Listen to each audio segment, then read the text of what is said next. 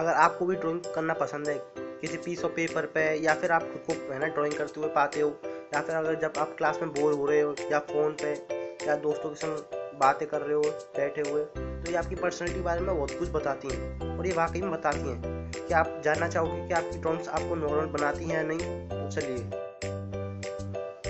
चलिए इन ड्राइंग्स के बारे में कुछ नया जानते हैं। नंबर फाइव स्क्वायर डायमंड्स और ज्योमेट्री फिगर्स अगर आप ये ड्राइंग्स कभी कभार बनाते हो तो उसका मतलब आपने अपने गोल सेट कर रखा है। पर आप बहुत कम लोगों को बताते हो अपने आइडियाज़ के बारे में, क्योंकि आपको लगता है कि दूसरे लोग पहले से ही जानते हैं। किसी चीज़ के लिए आप परसिस्टेंट हो मतलब कि आप पक्के इरादे के हो, और भले और लोग आपके अंगेज में क्यों ना हो, और आप सिचुएशन को पूछते भी नहीं हो। नंबर फोर अगर आप अपने पेन से ये कुछ भी ड्रॉ करते हो इन ड्रॉइंग्स की तरह ये आपकी पर्सनैलिटी के बारे में बहुत कुछ बताती हैं। अगर आप लोगों की ड्रॉइंग्स बनाते हो, इसका मतलब खुद को सुरक्षित महसूस नहीं करते हो। कोशिश करते हो कि आप अपनी रेस्पॉन्सिबिलिटी से दूर हो सको।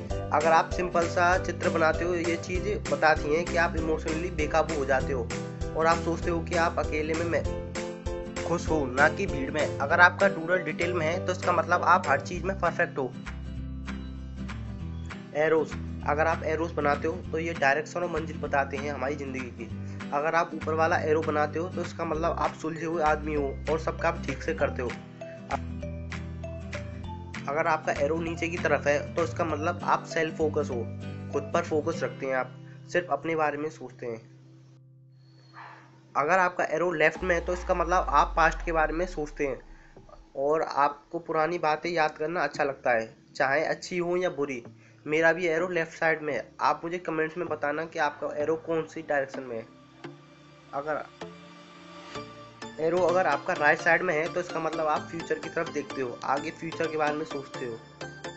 Number two ink blot test इसमें इंक के धब्बों से एक अजीब सी ड्राइंग बना दी जाती है, जिससे आपको पता करना पड़ता है कि ये किस चीज़ की ड्राइंग है। आपके पास सिर्फ़ दस सेकंड्स है सोचने के लिए।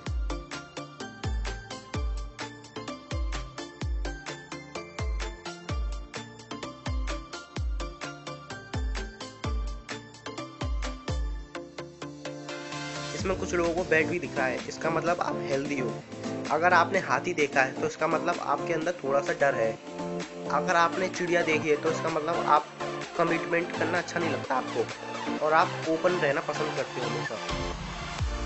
Number one sunny day out आपको सबसे पहले क्या दिखता है फ़ोटो में? आपके पास टेन सेकेंड्स है ऑब्ज़र्व कीजिए फ़ोटो को।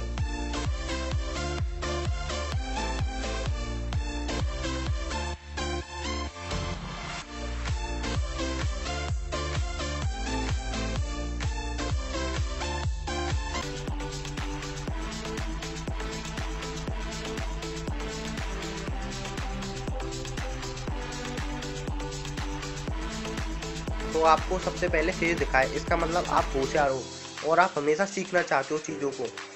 अगर आपने एप्पल देखा है तो इसका मतलब आप दूसरों के साथ अच्छा बिहेव करते हो और आप उन लोगों में हमेशा पॉजिटिव से सोचते हो। अगर कोई गलती कर दे तो आप उसे पॉजिटिव में ले जाते हो। अगर आपने वो इंसान देखा है जो बैठा हुआ है तो इसका मतलब आप वेल बैलेंस पर्सन हो, जो हमेशा अपना ध्यान रखता है। यही है आपका टेस्ट। आपको वीडियो कैसा लगा, मुझे कमेंट्स में ज़रूर बताइएगा। थैंक्स।